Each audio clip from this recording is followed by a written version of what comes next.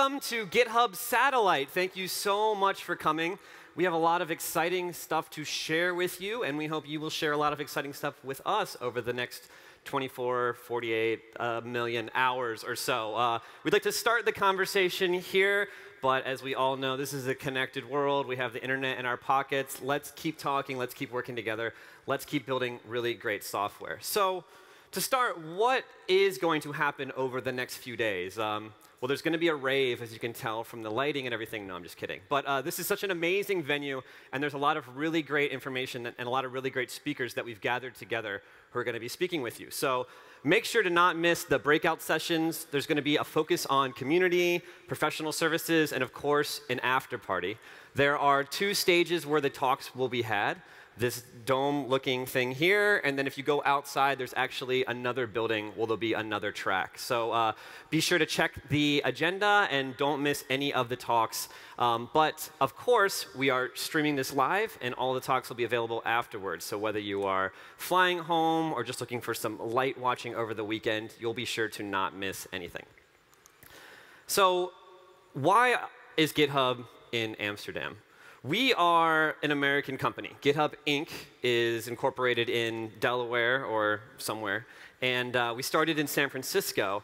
But even though most of us grew up in the United States and a lot of us work there, GitHub is a lot more than a company. It's a lot more than a legal entity. It's a lot more than a building or a VPN.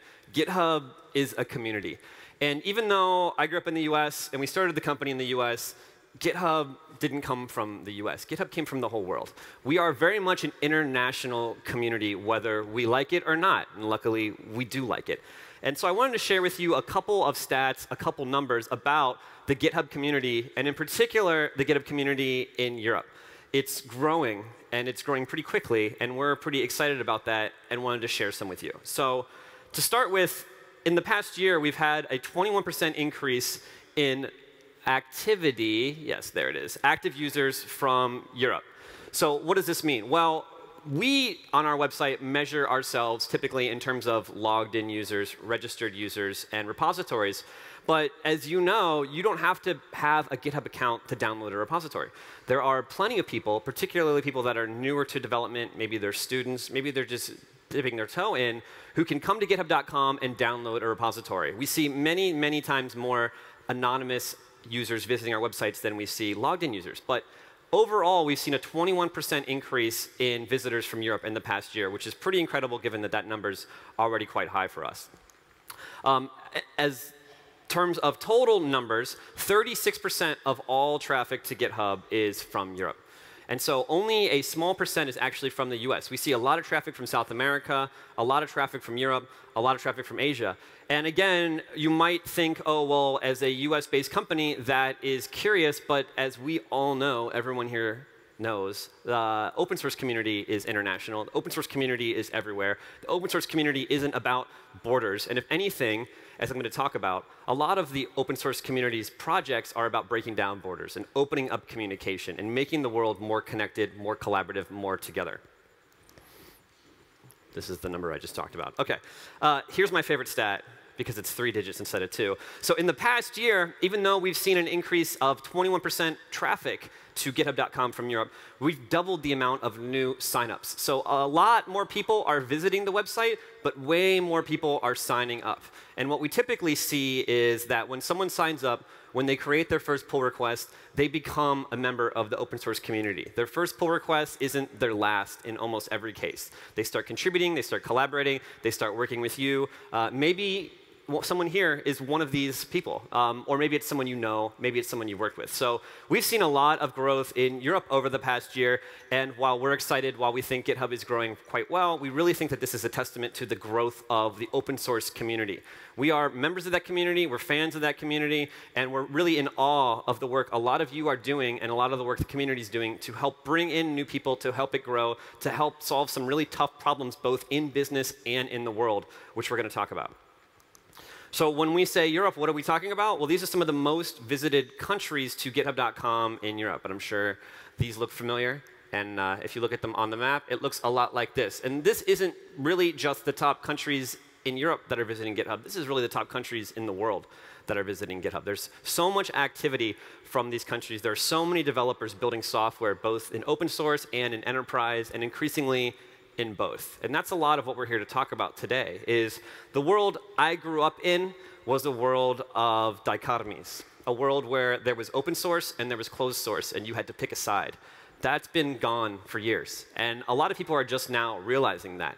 And I think a lot of that is thanks to projects like Linux, thanks to projects like open source programming languages like Ruby and Python, and thanks to major companies that have realized they've built a lot of value on top of open source projects. And they've been able to hire really great engineers who do really great work by using open source projects. And so even though a lot of the world is still stuck in this idea of enterprise versus open source, what's happening and what's actually out there and what we're seeing and what you all know is that it's really about developers and it's really about software development. And it's a lot more nuanced than closed source or open source. It's really about building the best software with people. And that and sometimes means going to the open source world, and sometimes that means building something internally. But really, we see a, a huge and growing mix of both which we're really excited about because what that translates to are bigger companies becoming more open. Bigger companies releasing more open source software, encouraging their employees to contribute to open source software, evaluating people based on the work that they've done in an open source community or looking at their code over a resume. And that's really exciting for us because it's something that we've believed in and seen work for a long time. Here's our map. So I want to talk a little bit about open source. I already did talk about open source, but I'm going to talk about some more because it's really, really important to us. Um, it's a lot more than just a movement or an ideology. It's a great way of building software. It's a great tool for getting excellent results. And while we, for a long time, have shown examples of things like Linux, we've pointed to something maybe like MySQL, we'll look at the success of Node.js. A lot of these projects have been grassroots. It's been you on a weekend inventing something interesting, coming up with a new technology, sharing it with the world, slowly building momentum, and then the next thing you know, you have a jQuery. But what's happening now is that companies are seeing the value of open source, of being open. And while there are still and will always be projects that start on a weekend, that grow, that become a large community, we're seeing large commercial companies that are embracing and fully contributing to open source projects. And not just the Googles and the Mozillas of the world. There are some companies who classically have been anti-open source, who have been closed, who have been secret, who have been private as their way of doing business that are now embracing open source and really sort of uh, putting us all to shame with how well they're doing it and how seriously they're taking it. And so the first example that I'd like to talk a little bit about today is this project called Swift. How many people have worked with Swift before? A couple people. All right. I think next year there will be a lot more hands because this is a new technology. It's a new project. Um, it's a new programming language, but the way they're doing it is sort of revolutionary. It's from Apple. It was developed internally. It's open source. And the way that they're running the project really proves that open source is a lot more than just showing code or making code available. It's what we call it in the title of the source is open, but as I'm sure many of you know, it's a lot more work to run a great open source project than to just post code online. I've done that a lot of times, and it hasn't always worked out well for people that are using my software. What tends to work well is building a community, fostering collaboration, having good contributing guidelines so you have less issues and less back and forth trying to build great software, setting out a vision, setting out a roadmap, and doing it together. And Swift is doing this really, really well. They're not only utilizing some of the best practices in open source development, they're defining a lot of them too. And so I could go on and I could show you while I'm on stage a picture of another person who's on stage, but I would encourage you to check out the Swift repository yourself go look at what they're doing. Look at when they code. Look at how they respond to issues. Look at their documentation. They're really setting a great standard for not just a corporate entity that used to be private opening up some of its code, but just a solid open source project. And this is what we mean when we say there's no longer a dichotomy between enterprise and open source. We see companies like Apple that are fully embracing the open source model because they understand now it's a way to do business really well. It's a way to build software really well. It's a way to get what they want. And what they want is better software. And that's a lot of what we're here to talk about today is what tools, what techniques, what communities can we share with each other to build software better, to make it less stressful, to make it a more enjoyable experience, and ultimately to do something better for the people who are using our software for the impact and the change we want to have in the world. Stack Overflow every year does a developer survey, which we are huge, huge fans of. Um, you should definitely check it out if you haven't seen it already. One of the things they ask is the most loved programming languages. And this year, number two was Swift. And so not only is this an open source project that has Apple's name on it, that has a lot of stars, which are cool. Um, it's something that developers really like. It's something that's really interesting to a lot of people, and it's something that I think is going to go a long way, and we're going to be hearing a lot more about over the next few years. And if you look at this list, Rust is on there, F Sharp, Scala, Go, Clojure these programming languages and environments have a lot of things in common. And one thing that they all have in common is that they're open, is that they're being developed somewhere with a team with contributing guidelines where anyone can contribute and work on them together. And this is really not just the future of programming languages and VMs, but we think the future of all important software. A lot of stars, 29,000. I think we have like 600 people, so if you all jump in, we can get it to 30. Anyway. Um, there's also some really interesting programming um, ideas on GitHub related to Swift. There's a Swift evolution repository where they're discussing the future of the language and trying things out and experimenting and really taking the branch-based workflow to a whole new level in a separate repository where they can experiment with new language features and ideas without necessarily working through the main repository. So in just the last 30 days, there's been over 270 pull requests that are merged on the Swift project. And 1,800, is that right? 1,800 pull requests merged since launch. Those are big numbers. They're big numbers. Trust me. Um, and like I said, Swift is an interesting case study. It's something we're talking a lot about because of the change in sort of mentality and philosophy and output of a company like Apple. But they're not alone. They are following in the footsteps of giants. Java programming languages, open source, Ruby, Python, C. A lot of these projects that we use and build the whole world today on top of are open source, and you can go see how they run. And what's interesting is it's not about the code being open, it's about the way you run the project. So here's another really interesting project that we are uh, big fans of. It's called TensorFlow. This is something that I've heard about for a long time, machine learning. This is the idea that robots are going to rise up and overtake us. Um, and little did you know, fun fact, it's already here. We talk about machine learning, we talk about AI, we talk about deep learning and things like that, but often it's in a press article or it's a tech demo or it's a talk at a conference. But this is what's really amazing. It's, all, it's already here. You can go to the TensorFlow repository. You can check it out right now. You can start playing with it. You can start integrating it into your own projects. Machine learning is here. It's open source. It's readily accessible. And it's something that you can contribute to. If you're interested in using this in your software, seeing how it works, and giving back, you can definitely do that. Google is a huge, huge proponent of this, and TensorFlow is used in some of their existing projects, such as Google Photos. Their idea of learning who you are, learning about your content, making suggestions, this is backed by some of the open source technology released in TensorFlow.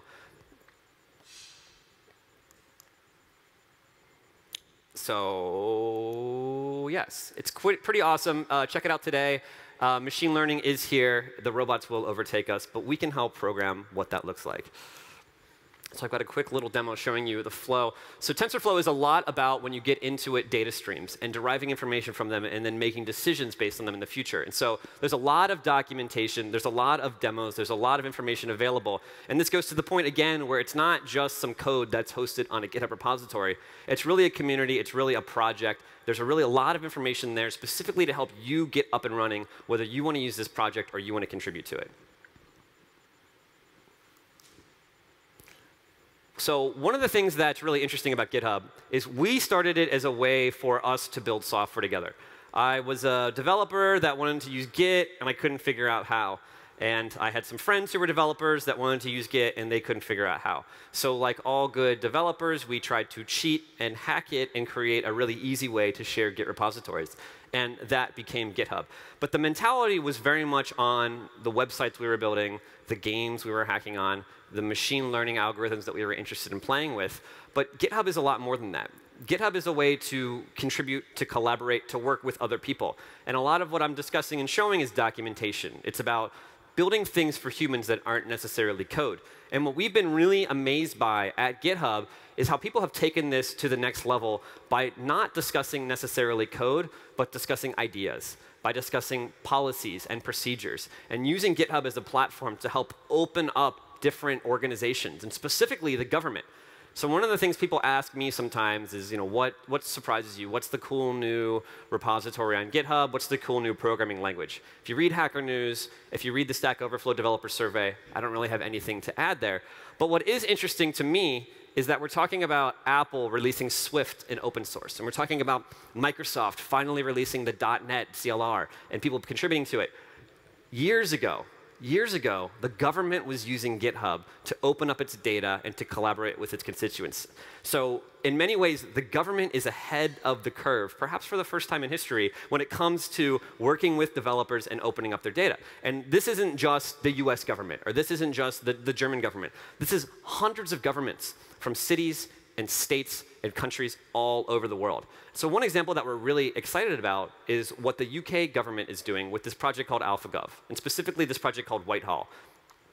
So what they're doing is they're creating a framework and a platform for departments inside the government to be able to create their own website and surface their data to their constituents. So one issue that a lot of departments have is their job is what? The motor bureau, something to do with taxes, something to do with event space license registration, probably. They're not experts in web development. They're not experts in communication. It's not what they know.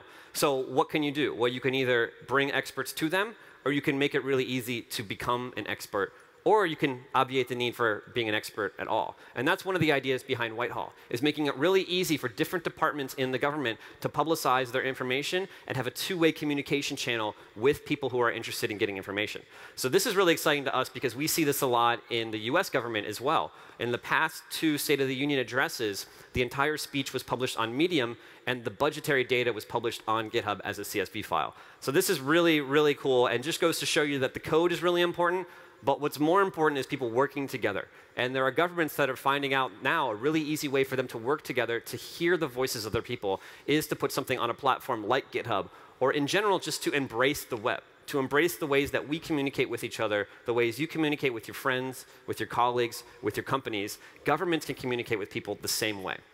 So there's going to be a talk uh, later today on AlphaGov, but just go to gov.uk. It's already live. You can already see it. There was a massive effort internally over the past couple years to really modernize the gov.uk website and make it easy for the different departments to contribute. And you can see the result of that hard work online today, as well as a blog where they're detailing a lot of what they've worked on, and I believe it's called Project Inside.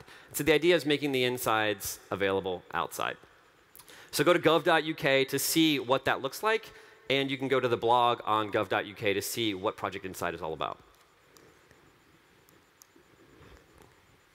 There it is. There's a picture. It's a sneak peek right there for you. Um, OK, so usually when we go to conferences, we don't like to talk too much about ourselves, but we're here. It's a GitHub conference. We're going to talk about ourselves a little bit. And uh, one of the things that we're really proud of at GitHub is shipping. And not just shipping things that are interesting, but shipping things that are high quality and high value for you. GitHub is all about the developer. If there's one thing that defines our company, defines why people are there, that defines our mission or our vision or our reason for being, it's about the developer. It is about software. We care a lot about software, but we care more about the people building it. We want to make it a great experience. We want to make it easy. We want to open up the power of building software to everyone in the world, and we want to make anyone building software way better at it today. This is a never-ending journey for us, and it's something that we think about all the time, and it's something that we have a hard time with. What does the future of software look like? What are you doing that we're not seeing? How can we change our product, our events, the way we think about ourselves to make building software something that anyone can get involved with and everyone doing can do it better? So we've done a couple things in the past year, um, not the past year, this year, that we're really proud of. And one of them is this idea of returning to social. When GitHub started, we were heavily influenced by Twitter. We were heavily influenced by Facebook. We were influenced by message boards. And we didn't look at the Bugzillas and the Tracs of the world and say, we want to build another developer tool. Instead, we looked at the ways people communicate online, and we took a lot of those ideas and we put them onto a new developer tool. We wanted to be something that people really liked using. We wanted to be something like a consumer product for people doing work. There's a lot of reasons for that. One, we didn't like our tools. And B, we know that a lot of these companies have put a lot of time and effort and research into figuring out ways to make people use their website. And so while we don't have a feature currently that helps you talk about baby photos, we have a lot of features that help you talk about code. And what we're doing now is we're looking at the world, we're looking at the way we work, and we're evolving. And one of the ways we're evolving, and the world is evolving, is emoji. Um, and it's silly, but it's also real. And so we release emoji reactions this year, and we've already seen a dramatic decrease in the amount of issue comments that are left on GitHub. So one way to think about this is all numbers should be going up. We are looking for a hockey stick. Less issue comments is a bad thing. Another way to look at this is what are we really trying to do? We're trying to make you more productive. We're trying to give you more time to focus on your code. We say sometimes that GitHub should be like Wi-Fi. You should only really think about it when it breaks, um, which isn't totally true and not the greatest analogy, but there's something to that. We want to free you to spend time thinking about your code, thinking about your problems, and not dealing with our interface, not dealing with our product, not typing the same thing over and over again. So emoji reactions are something that are quickly coming to be a standard feature in a lot of social applications, and it's something that we've added to GitHub as a quick, easy way to, to communicate Recently, we had a thread internally discussing whether there should be a toaster oven made available in the GitHub kitchen. And it was the first time I've seen the down thumb used so adamantly. It was a very heated discussion, um, but the intention was clear. And you'll be happy to know that we decided to go with the toaster oven. So if you ever visit HQ and you want to make a pizza bagel, we have you covered thanks to emoji reactions. So anyway, it's an optional feature. You don't have to use it, but we think it's a really quick way to just give some feedback, share what you're thinking, and not have to type a comment in. So while that is small, I think it's indicative of where our focus is right now. And our focus right now is on helping developers become more productive. Uh, another way that we're doing that is with this feature called issue and pull request templates. Anyone who runs an open source project of any sort of scale or size knows that you often get the same question over and over and over again. Um, one way that you can deal with that is perhaps, I don't know, a punching bag, exercising, some sort of stress relieval uh, routine. Another way is to help educate people and guide them into contributing in the way that works best for your project and works best for them. There is, to be serious for a moment, there's this scary feeling that I think almost everyone experiences when you're making your first contribution to an open source project. You're worried about the code itself. You're worried about entering into this community. You're worried about the reaction and your reputation. You're worried about doing the wrong thing. You can stay up all night reading all the documentation, but you never know what you missed. One really great way to communicate what you need to do is the contributing guideline. However, they haven't been as effective as we'd hope we can publish a contributing guideline in your repository, but not everyone sees them. So when we started listening to the community, and uh, thank you to everyone who wrote us a very nice letter earlier this year, one of the things we heard loud and clear was there's just a lot of repetitive work that open source maintainers are dealing with over and over again, and the contributing file, it's just not good enough. So we sat down and we started thinking about our own open source projects and how we could make the contributing file better, and we came across this idea of issue templates. It's something that other projects do, it's something that a lot of issue trackers have, and so you can leave a file in your repository, either in the root directory or in the .github folder, that automatically pre-fills what's in an issue body format. It can be instructions, it can be advice, it can be guidelines. But in many ways, it's beneficial to the maintainer because, again, you get less issue comments. And I guess our goal is to have no issue comments and everyone communicating with emoji. But really what it does is it helps someone who's contributing to a project know that they've checked all the right boxes. It helps them feel more confident. It helps them know that they're doing the right thing. So communication is a big emphasis for us this year. And from emoji reactions to issue templates, there's some small things we're doing that we think are going to have a big impact. And we're already seeing huge wins. Save replies is something similar. Uh, a lot of people might use something like text expander or some way of automating responses to issues or emails or, I don't know, uh, your family members. But now we have this built right into GitHub. You can save your popular replies. And so whether you're triaging on one repository or a million repositories, you can very nicely ask someone to write some unit tests, to add documentation, to read the README, and not have to sit there typing, and every, everyone, everyone's happy. Finally, squash your commits. So for a long time at GitHub, we had this philosophy of guiding people towards a correct way of building software. One phrase we use is GitHub Flow. And it's this idea that our tool should really guide you towards the right way of building software. But the reality is there is no right way to build software. And that's not a bug, that's a feature. Even if everyone in the world used the same text editor, assuming it had a config file, we'd all be using something very different. And that's a really beautiful thing about development, is the diversity in the way we have our environment set up and the tools that we use and the people that we work with. And so we are more and more embracing that in every sense of the word at GitHub. And one way that's coming out is in how we don't necessarily guide you to the one correct workflow, but we guide you to the workflow that works best for you. So pull requests for a long time have only worked by creating a merge commit, which we've heard over and over again. People have said that's fine, but that's not the way we work. And so we end up not using the GitHub merge button, not because we don't want to. I mean, it's a big green button on a website. I just, it's like a moth to a light. I just want to click on it, but because it doesn't work for our workflow. So we've added the ability to squash commits right from the merge button and uh, look for more different ways to utilize your Git workflow of choice in GitHub in the future. And if you don't know, squashing commits is this idea of when you create a branch and you submit a pull request, you can either merge the branch right into the target branch, or you can take all the changes on that branch, you can combine them together, and you can have a single beautiful commit that lists all the changes and shows it right there. Uh, some people prefer to work this way. Some companies require the, the, the workflow happen this way. And now you can use GitHub to squash your commits right from the merge button.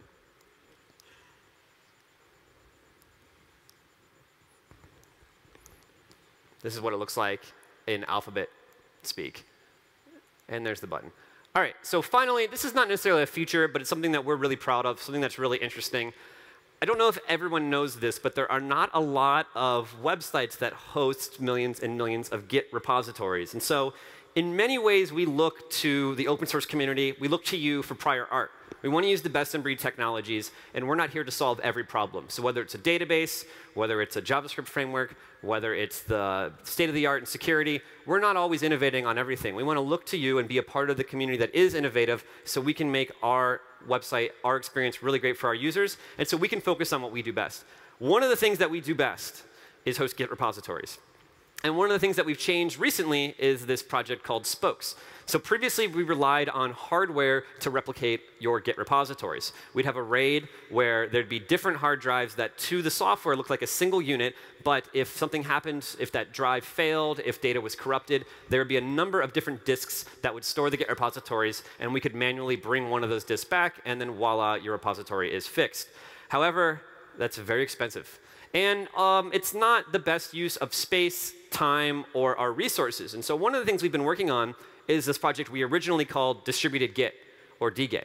So it's distributed, distributed version control, which is what we do is we innovate and we add words in front of other words. But uh, it's a project that we call Spokes. And what this does is it replicates your data, your Git repositories on our servers across different file servers. And so this means without RAID, with just commodity hardware, with standard hard drives, we're able to do something similar where when you push to GitHub, you're pushing to multiple repositories. And if one gets corrupted or something bad happens, we can take that one offline and you won't notice anything. And this is an entirely software solution. Um, Um, so there's some articles that we've released online where you can check out the architecture of spokes and some of the thinking behind it. But we think it's really cool, and hopefully it'll make your Git experience faster and more seamless in the future. And it's just another thing we're doing to try and make GitHub more awesome for everyone. So GitHub Enterprise, we have this thing called GitHub Enterprise. And it's uh, kind of a misnomer. A lot of enterprises use it, but really anyone can use it. Really what it is, it's an on-prem version of GitHub. It's your own private GitHub community, either behind your firewall, hosted on your VMware server, hosted on Azure, hosted on AWS, wherever. It's totally disconnected from the GitHub community in terms of network and database, and it lets you have your own community internally. We've got a lot of customers that are contributing to open source using github.com and running their own enterprise instance internally. Um, if you've ever used Enterprise, you probably know that it's been around for a long time. It's been pretty tough to use for a while, and in the past few years, we've been working really, really hard on making it great. And one of the things that we've done that we're really proud of is this release called 2.5. So this is interesting for a number of reasons, one of which, Enterprise used to only run on a single VM. And so there was a cap. You could only have well, I'm not going to say a number, but as many users as you wanted to try, but there would be a point at which it stopped working. It started being slow. You could only have so many users on GitHub at the same time uh, using a single enterprise instance. And so we ended up having customers that would have multiple enterprise instances inside their, com their company, which is tough in terms of maintenance, but it's just like heartbreaking in terms of what we're trying to do in the world. A whole point of GitHub is to bring people together, to have this one single platform where you can share code, and of course you can take your data with you, but we're all in the same place. You can have one search, you can find anything. We want to bring that to companies too. We want to make it really easy for a big company to have repositories from all different departments shared. People who maybe want to hack on something on the weekend can go work on some other project. People who are looking for great engineers can go find them in other places, parts of the company. So the idea that our enterprise customers were using multiple segregated instances we were like creating more silos with our software that we set out to create to break down silos. So you can imagine the heartburn and consternation from that. Um, and so what we're really excited about is this thing called clustering. Is now we have a solution where you can have multiple VMs, multiple servers, and they all look like one version of GitHub Enterprise to you. And so that was released sometime last month uh, with what we call Enterprise 2.5. And infinite scale. I'm just going to say that. Infinite scale, probably, something like that. But now any enterprise can have everyone running on one single community internally, no matter how many repositories or users they want, and we can just scale with machines instead of trying to fit everything on one VM. So this is a really big uh, innovation for us and something we're really proud of and really excited about. And we're already seeing a lot of success with some really major co companies that are rolling out literally tens of thousands developers using GitHub Enterprise, using social coding, using Git internally to build commercial and open source software. But that's not all. Uh, Enterprise 2.6 was just released a few weeks ago. And in addition to bringing in a lot of the social features, developer-centric, such as templates and pull request, uh, sorry, issue and pull request templates, emoji reactions, um, it also brings in a lot more speed. There's protected branches, which help you configure your workflows, and pre-receive hooks, which we've been excited about for a long, long time. So if you have an enterprise install, you can now configure pre-receive hooks and have a lot more flexibility in defining your workflow. So that's, that's uh, what we've done. And I'm going to keep talking about us a little bit. There's some new stuff today. Uh, did anyone check Twitter or Hacker News before I got on stage? So there's some exciting things that we want to talk about. Hopefully you've seen it. Actually, I hope you haven't seen it, because I want to do like the Oprah thing where I make you look under your chair. So if you have seen it, just pretend like this is new. But uh, who has ever used this project called Electron? Anyone? A couple people. OK. This is really cool. This is uh, something that we're really proud of. And where it came from is really interesting.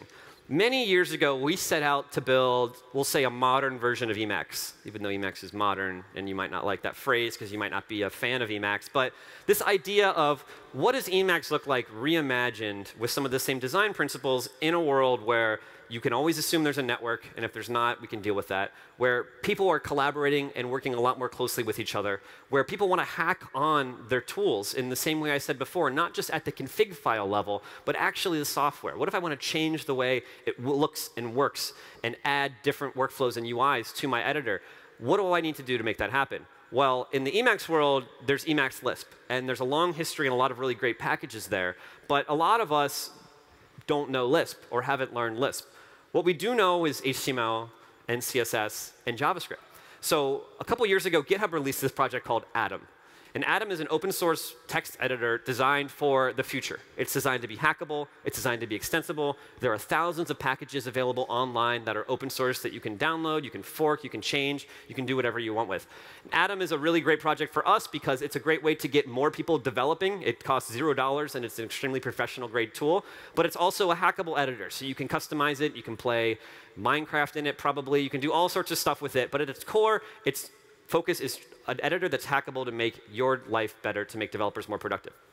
When we were building Atom, we realized that it's actually pretty difficult to build a native desktop application in web technologies. Um, and a lot of people have said, well, why would you even do that? Well, there's a lot of reasons, extensibility, openness, and whatnot. But one of the things that came out of Atom was this piece of technology that we call Electron. And Electron is a platform for building desktop applications in web technologies.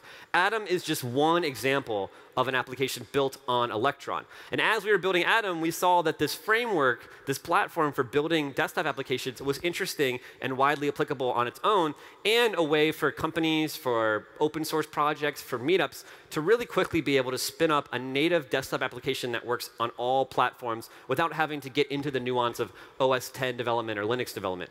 So this is not us saying this is the better way to build software. We think it's a great way to build software. We think it's a choice.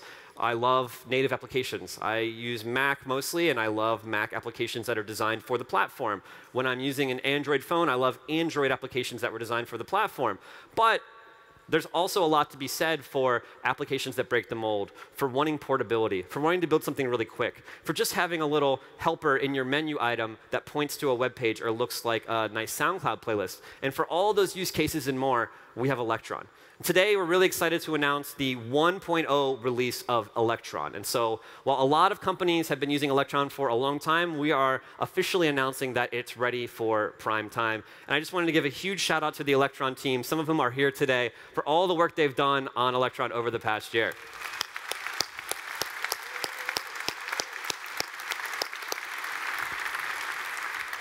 So, this is not some of these numbers are pretty surprising to me, I'm going to be honest, and I should know this. I, am involved in GitHub, the company, in a way. But uh, Electron has 27,000 stars on GitHub, which is almost as many as Atom has itself. And so this isn't just us saying, here's this option, here's this interesting way of building software. This is the community saying that. This is an open source project. We spend a lot of time and effort on it, but this is really a testament to the community and interest in the ability to spin up an open, an open source desktop application really quickly using web technologies. And part of that proof is that Electron has been downloaded over a million times since it came out. So this is not, this is the real deal. This is, this is pretty amazing. These numbers are pretty, pretty impactful. And so we think the future for Electron is even brighter. Um, we have some ideas for other applications to build on Electron, but that's not the interesting part. The interesting part is what you build on Electron. And we're really proud to say that companies like Slack and like Microsoft are already releasing Electron applications. Microsoft even built a text editor that competes with Atom on top of Electron. We think that's a good thing. It's really cool. It's called Visual Studio Code. You should check it out you should use Atom, but you should check it out. But this is, this is what's really exciting to us. Is this is a platform that anyone can use to focus on their interesting problem, on what they're building, on their contribution to the world. Nylas is an open source extensible mail client. So if you're tired of mail.app or Outlook or whatever you're using, Gmail, and looking for something new, something built in the Atom philosophy of being able to hack it and extend it, check out Nylas. It's available. And there's dozens more application built on top of Electron. And so you can check out the Electron uh, website for a lot of them and add your own. Try it out. There's a quick start guide. It's pretty easy to get up and running. There are some open source projects that provide Bootstrap-like buttons and paradigms and UI widgets. And so maybe you're building something internally for your company. Maybe you're building keynote presentation software. I don't know. Maybe you're just trying to hack on a robot. Check out Electron. It's a really great way to get started. So one thing that we've always been very proud of is this idea of we build GitHub for ourselves. And this is something that we've talked about. And uh, to an extent, it's been true, is that we try to work, we try to figure out a way to build software, and we use those ideas to change our products, to change our philosophies, to change our workflows. Sometimes it's, it's bit us. We don't use squash workflows, and so for a long time, we didn't have that ability in the merge button. But sometimes it's worked really well. And I think the core forking workflow the core pull request workflow, some of those ideas come not from me or some designer, but from the team that's building GitHub. So we've always really liked this idea of how we build software is something that we can share. And we take ideas from you, and we share ideas with you, and we build them into GitHub, and we take ideas from our competitors and our community. But ultimately, we're, we're eating our own dog food, or we're drinking our own, our own champagne. Well, that has not been true in one really important way since the very, very, very beginning. GitHub started not as a venture funded company, not as a big business plan idea, but just as a way to scratch our own itch. We wanted an easy way I say easy, but like any way to share Git repositories, we were terrible at it. We wanted an approachable, accessible way to share Git repositories. We built it for ourselves, and we were storing repositories on disk. We were storing data. And so even though this was a side project, we said, OK, we should charge some money for this so that as it grows, it'll be sustainable. We want the popularity of GitHub to pay for the servers so that when we eventually have 500 customers or whatever, we're dreaming big, the thing will pay for itself. Um, as we know, GitHub took off. It really surprised us. We were really, really overwhelmed by the community and the support and the ideas that people shared with us. And GitHub just became a phenomenon, and we're really humbled to be a part of it. But one thing that we really haven't nailed yet is this idea of our core workflow being built into the product and being made available to everyone here. And a very specific way is in how we use private repositories. And so because we weren't venture funded at the beginning, because this was a side project that we wanted to be sustainable, we said, OK, we need to have a business model. We need to have some way of paying for these servers. And as you probably know, the way we paid for them is by making open source repositories free because I'm not going to pay someone to host my open source code. And making private repositories costs money, because that seems reasonable unless I'm a student or embarrassed about my open source code, which we can help you out, I'm probably deriving some value by keeping it private. So the business model at its core has been open source is free, public repos are free, private repos cost money. We also decided to charge per private repository. This idea of, well, if we charge from space for space, we're now competing with S3, and we don't want to get into that business. I don't want to ever compete with Amazon. They are relentless. Um, but what we, it's not also the value that we provide. GitHub's value is not in storing code. It's not in storage. It's not a backup server. There's tons of cheaper options for that. GitHub's value is it's a multiplayer game. It's a way to work with other people. It's a way to build software and design your flow and integrate with an ecosystem of amazing tools. And so we've charged you all for private repositories in the past. We've said you can have 20 for this amount of money, you can have 40 for this amount of money. However, we're hypocrites. We don't pay for private repositories at GitHub. So the way we work is a little bit differently than the way you work. We have, the last time I checked, 1,600 private repositories in our GitHub organization. If that I don't even want to calculate how much that bill would be because I'm definitely not going to pay it. But there's a whole different way you think about the world when private repositories don't cost anything, when they're free, when they're unlimited, when you can start to think of them as an organizing principle and not a cost center, not a unit of value, but just a way to communicate and a way to work with other people. And so before I got on stage, we announced that every paid GitHub plan, whether it's $7 a month as an individual up to the largest organization plan, now comes with unlimited private repositories.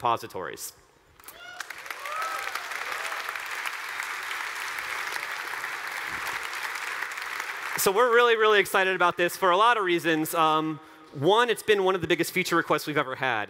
Some people ask for private repos. Some people ask to pay per user. And that's the change that you're going to see in terms of pricing. Um, all organizations now we charge per user instead of per, per, per, repository, and we've worked very hard to make this a, a good thing. And so um, the first five users will cost 25 bucks total, and then after that it'll be $9 a user a month. We're giving everyone a long time to look at the plans and switch over. This is not going to be a forced thing anytime soon. And we think that there's a lot of value in paying per user because really what you're getting is a workflow that we believe in and we think is superior and of course, we're happy to pay per user. It's a way a lot of SaaS software has evolved in the past eight years since GitHub was created. But the other important point is on the individual plans. This is something we're really excited about. Individual plans on GitHub have always started at $7 a month, and they've gone up based on how many private repos you want.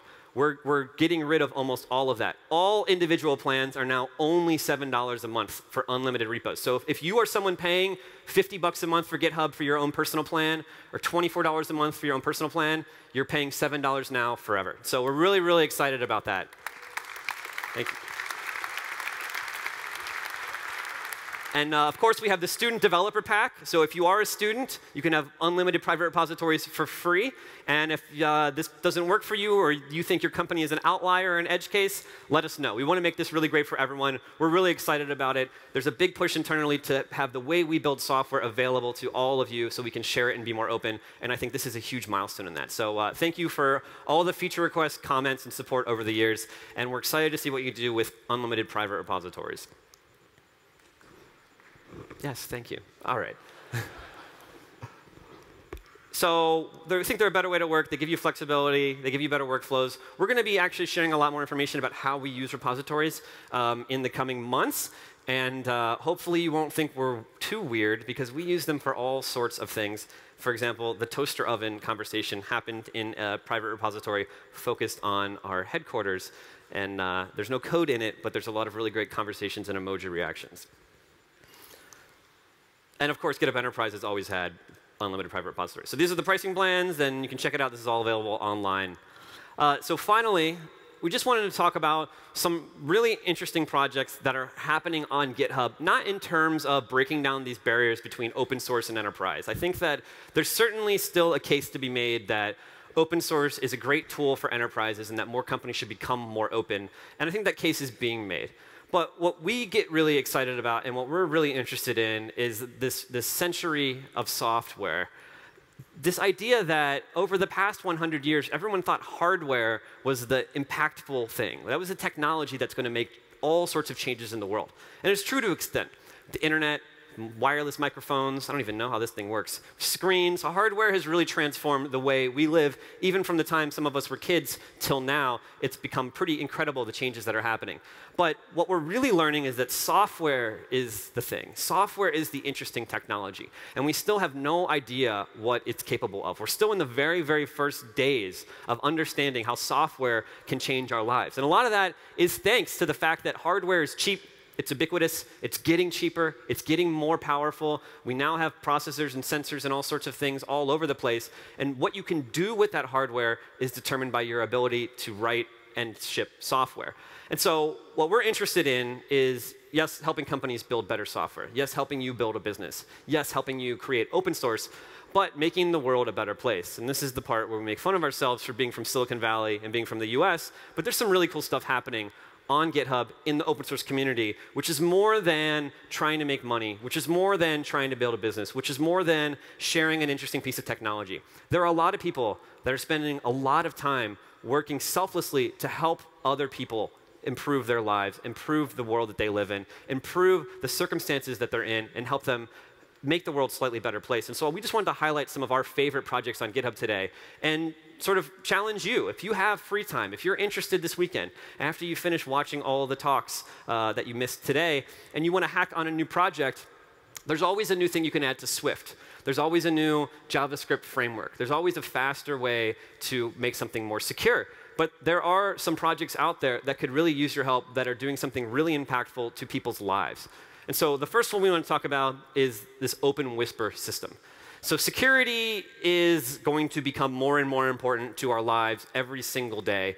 And a lot of it comes from this silly idea that the internet was built on the fact that you could trust people.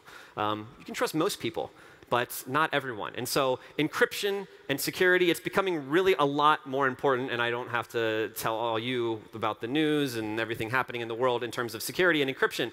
Open Whisper, Whisper Systems is a group which is trying to make this sort of open source and available to everyone. And so you can check out this, this organization on GitHub, and you can see IM clients for desktop, Android apps, all sorts of applications that are focused on encrypted private IMing that are open source and made available. And this is something that's been uh, vetted by Snowden has talked about it. Uh, Bruce Schneier has talked about it. There's a lot of security experts that are behind this Open Whisper System project. So I encourage you to check it out, particularly if, particularly if you're into this idea of freedom of speech and privacy and encryption and what data do you own and where are the personal boundaries.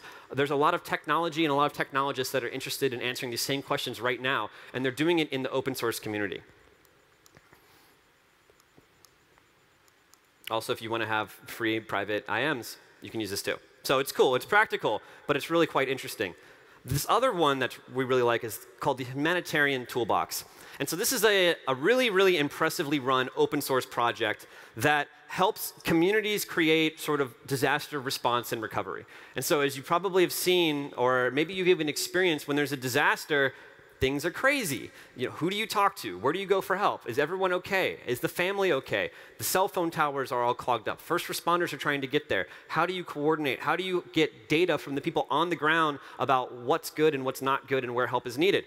So there are some Facebook is actually doing a good job trying to help make this problem better. They have some, some software that says, like, I'm OK when there's a disaster that happens. But the Humanitarian Toolbox is trying to take this much, much further. They're trying to build systems that are open source that communities can use to help support their first responders and the community in the, uh, if there's a disaster. And so you should check this out if you're interested in helping literally save lives with code. It's something you can do from your coffee shop, from your living room, from your desk. You might think that you have to go somewhere or be involved or use your hands and really dig in to save someone's life or help make a change in the world, but you can do it from your laptop. There is a lot of there are a lot of projects out there that are looking for smart people that have time that can help make them better. And the Humanitarian Toolbox is one of them. So please check it out. We're, we're big fans of them.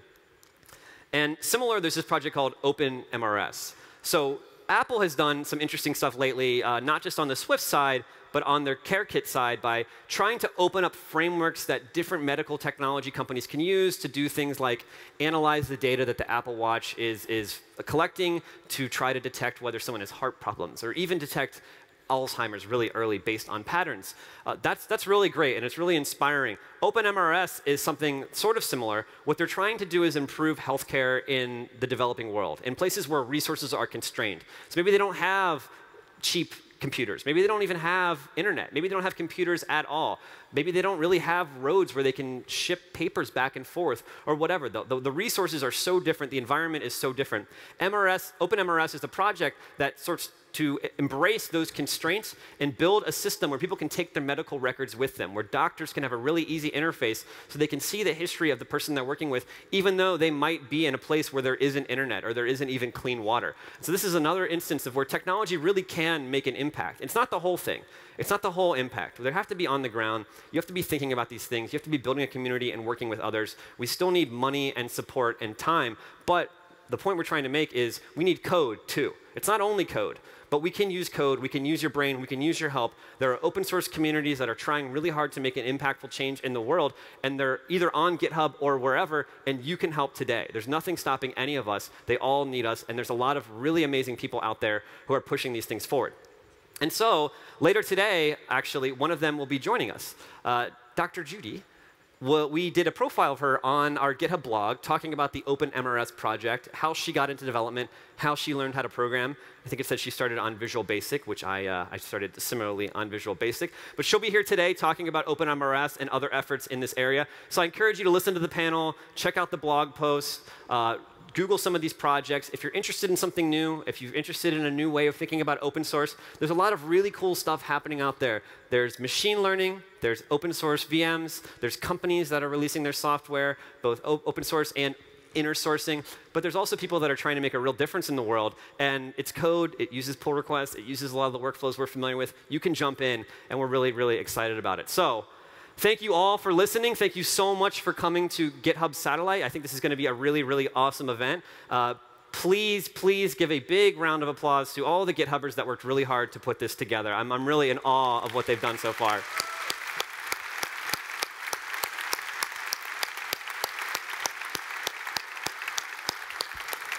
And again, thank you for coming. Whether it's an open letter, whether it's tweets, whether it's talking here, we're listening. We're trying to make GitHub better for you. We're all about the developer. We are developers too. We want to share our workflows with you. We want you to share your workflows with us. We want to make building software a really amazing experience for everyone. So have a great day, everyone. Thank you for hosting us, and we'll see you on the internet. Thanks.